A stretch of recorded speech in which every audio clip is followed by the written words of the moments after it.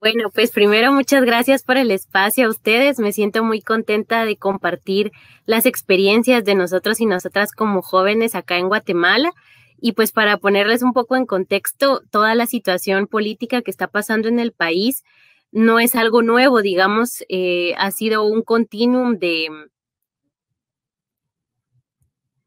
Ay, perdón, es que pensé que se me había ido la cámara. Ha sido un continuum de,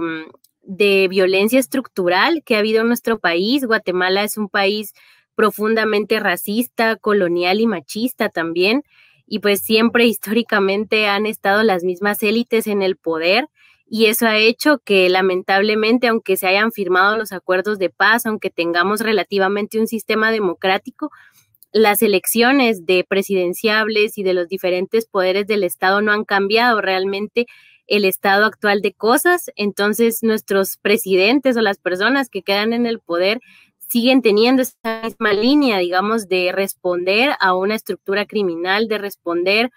a partidos políticos clientelares que reciben financiamiento electoral ilícito, muchas veces del narcotráfico, otras de, mm, digamos, del robo millonario. Entonces, en Guatemala, a nivel estructural, esa es la situación de la política en nuestro país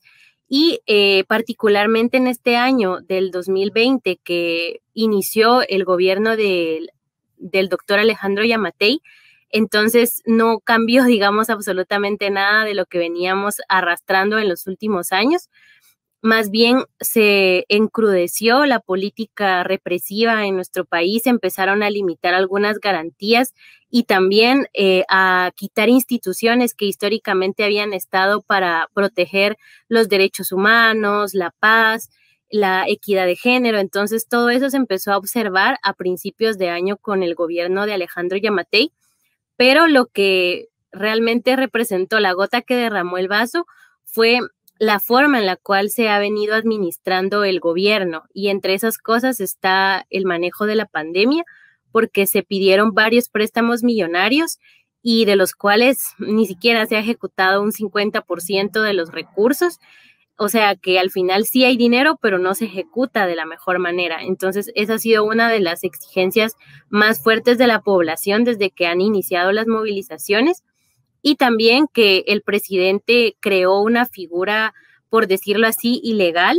que mm, suplanta las funciones de muchos ministerios de gobierno, que es el centro de gobierno, y en este espacio él asignó a una persona que es de su total confianza, pero que también se cree que tiene relación, alguna relación sentimental con el presidente. Entonces, a partir de ese capricho, él le volcó millones de quetzales a este espacio, se le ha pagado un salario a, quien dirige el, centro de gobierno, que es Miguel Martínez, sin ningún resultado y habiendo tantas necesidades de la población en cuanto a la pandemia, en cuanto a la pobreza. Entonces, todo esto fue, se fue convirtiendo, digamos, como en una bomba de tiempo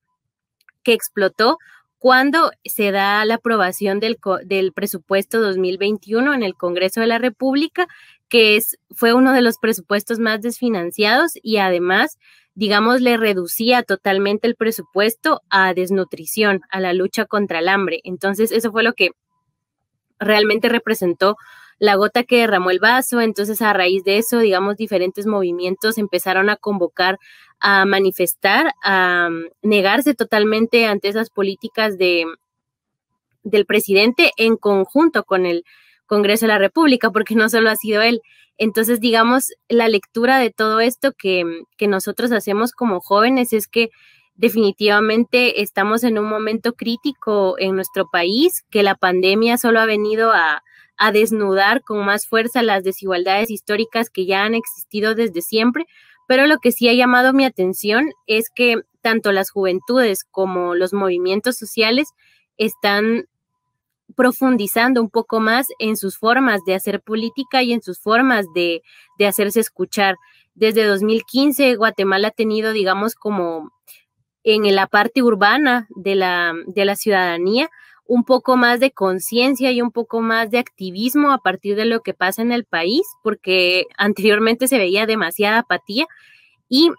pero digamos no cambió totalmente todo de fondo porque se siguió eligiendo a los mismos gobernantes, inclusive otras garantías se han limitado. Entonces yo creo que este año se vio esa diferencia de una ciudadanía un poco más beligerante y también más contundente en sus posicionamientos y creo, que aquí influyó un montón el contexto latinoamericano, porque muchos jóvenes, y, y, yo me incluyo también, nos sentimos muy inspirados por movimientos como el de Chile, como el de Argentina, como el de Perú, inclusive en Brasil, o sea, cómo existe esa, esa dinámica de movimientos sociales y de aglutinamiento de fuerza política para posicionar un discurso o para pedir cuestiones más transgresoras y revolucionarias como la reforma a la Constitución. Entonces, siento que estamos ante un escenario donde especialmente las juventudes están rompiendo, digamos, muchos paradigmas y también posicionando otras formas de hacer política. Y eh, eso se vio reflejado en el hecho del 21 de noviembre, cuando se dio la quema del Congreso, que fue como la noticia más sonada y, y un hito también a nivel simbólico, porque eh, ahí estuvimos muchos jóvenes en alrededor, digamos, cuando ocurrió todo eso, y realmente ver incendiándose un edificio que representa una institución, pero una institución súper em, clientelar, súper eh, discriminativa y violenta contra la población a nivel simbólico eh, fue de mucho impacto, a tal punto que en la actualidad el Congreso digamos, se retractó en cierto modo del presupuesto y ahora pues eh, va, hizo otra propuesta. O sea, al final sí se cumplió esa demanda ciudadana de que no se aprobara el presupuesto que se había presentado. Y también el presidente Alejandro Yamatei dijo que a partir del 31 de diciembre ya no va a existir el centro de gobierno, que es esta figura que les mencionaba. Entonces, esta es una forma de, de también demostrar que las protestas y las manifestaciones ciudadanas sí tienen eco en las decisiones de los políticos y les queda en claro que al final pues la soberanía reside en la población y que ahora lo más importante va a ser cómo fortalecemos esa organización y cómo se fortalecen las estrategias de, de movilización política para que esto no quede únicamente acá, sino que siga, siga vigente en los siguientes días. En nuestro caso como juventudes, estamos conscientes que ante el actual sistema político capitalista y neoliberal y también racista y patriarcal, que era lo que mencionaba, definitivamente nuestra realidad es muy adversa porque las garantías sociales que en algún momento se habían alcanzado se están perdiendo y una de ellas muy palpable es en el trabajo. Por ejemplo, en Guatemala, la tercerización del trabajo y la posibilidad de que como jóvenes podamos acceder a un empleo digno o a tener un trabajo con prestaciones, con seguro de vida, con seguro social, ya no es una realidad. O sea, acá en Guatemala muchos de, la, de los jóvenes trabajamos por contrato con factura, digamos lo que se le llama así, entonces, nuestros impuestos al final van a dar a una institución que no los devuelve en, desarrollo social, que no los devuelve en infraestructura, ni en parques, ni en condiciones dignas para la gente, ni mucho menos para los jóvenes. Entonces, sí sentimos eso, nos atraviesa, digamos, por el cuerpo esas opresiones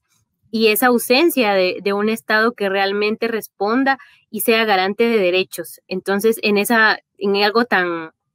tan relevante como el trabajo, que es un ejemplo que mencionaba, yo percibo que las juventudes sienten como esa afrenta a sus derechos y también, digamos, toda la parte de la educación pública, que creo que eso también lo compartimos muy sentido con, con ustedes, digamos, desde Brasil, de la defensa de una educación pública. Acá en Guatemala solo tenemos una universidad pública, que es la Universidad de San Carlos, en la universidad a la que yo pertenezco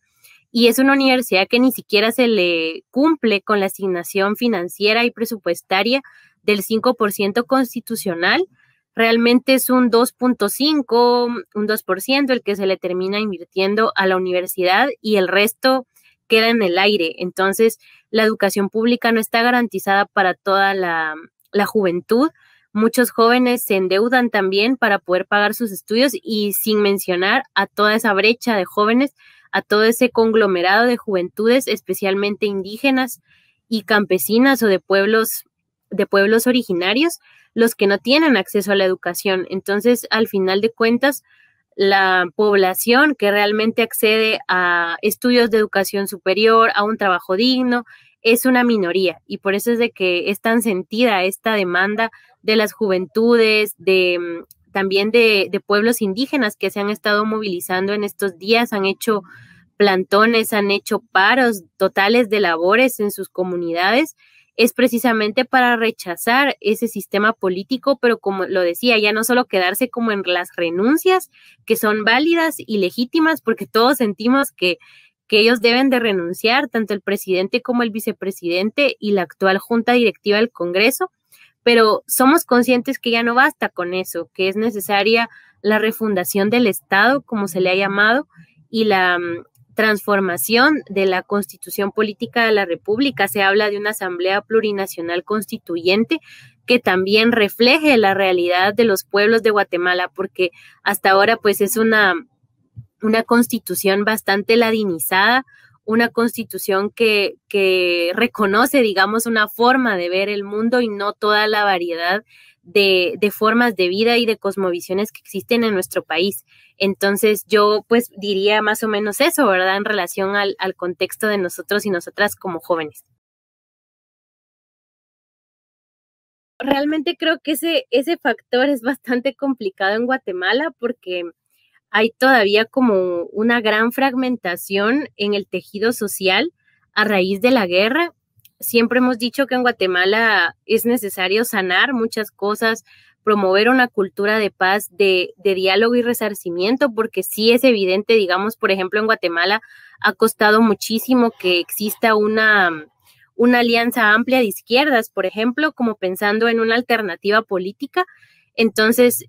realmente yo no veo todavía que hemos llegado a ese paso. Creo que todavía nos hace falta seguir construyendo movimiento social, seguir dialogando, discutiendo en las calles. Por ejemplo, algo que hablábamos con varios colegas es que en otros países se ve que, que en las calles se discute, se, se tiene esta cultura asamblearia de poder intercambiar conocimientos, de poder intercambiar saberes. Sin embargo, en Guatemala se han hecho esos ejercicios. De hecho, cuando yo estuve en la asociación, tuvimos muchos ejercicios de asambleas, de espacios entre organizaciones sociales y populares, pero el punto donde siempre surgía la controversia era precisamente en el tema de los liderazgos, ¿verdad? ¿Quiénes van a ser los voceros? ¿Cuáles son las causas en común? Y hasta cierto punto, cuando ya estábamos en ese momento crucial, las cosas se, se caían o se dispersaban por esa cuestión de, de, los protagonismos, ¿no? Entonces creo que también eso es una autocrítica para nosotros y nosotras de qué manera se va a poder construir realmente un movimiento social y político amplio que reúna las diferentes miradas de todos los sectores sin que eso represente una pugna por el poder, porque también eso no lo queremos en nuestros espacios. No queremos que ese sistema, digamos, clientelar y ese sistema sumamente patriarcal, porque es al final quién tiene el poder, quién tiene la voz, dominante de, y que se haga escuchar. Entonces creo que hay que apostarle mucho a la construcción colectiva. De momento yo veo el liderazgo en las juventudes. Sí siento que son las y los jóvenes los que están abriendo brecha, los que están motivando y propiciando la movilización política, los que están convocando constantemente. Yo en ellos vería un liderazgo claro pero también me inclinaría muchísimo hacia el liderazgo de las autoridades ancestrales y, e indígenas campesinas, que digamos acá en Guatemala hay una autoridad gubernamental o una autoridad legal que es nombrada por el presidente a través de los gobernadores de cada departamento. Sin embargo, también existe esta otra forma de autoridad más ancestral, de una autoridad moral en las comunidades que son electas de una manera como más asamblearia. Entonces yo siento que ellos también representan un liderazgo claro y lo han demostrado en su poder de convocatoria, como lo mencionaba la semana pasada. Por ejemplo, eh, los 48 cantones de Totonicapán, que es una comunidad de, mm,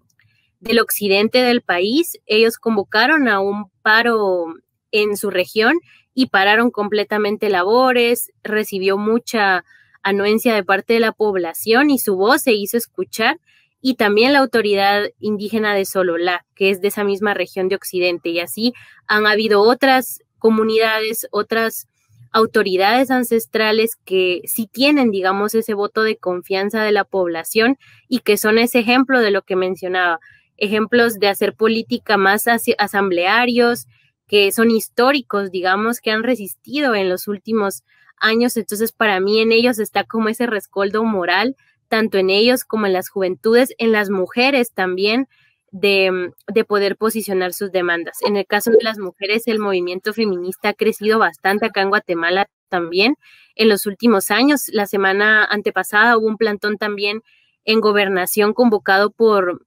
organizaciones feministas porque se ha visto también que en las, en las marchas se ha agredido a periodistas mujeres, a algunas se les ha estigmatizado por ser feministas. Entonces, yo, yo mencionaría, digamos, a estos tres grupos amplios como parte de ese liderazgo que estamos ya observando acá en Guatemala.